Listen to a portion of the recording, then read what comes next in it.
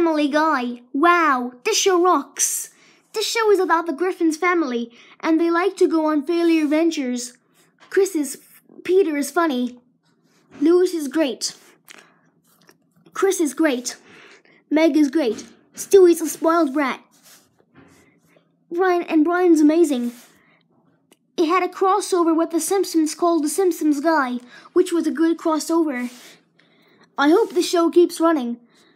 Do you know who likes this show? Michael Levion guy. He made us a Little Night show. And do you know who hates this show? Kyle the SpongeBob guy.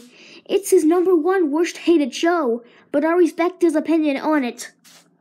So Family Guy rocks. And so does The Simpsons. I don't know what else sucks, so I'm going to leave it be. End of salute. Next salute, South Park. After the South Park salute, Rolie Polie Olie.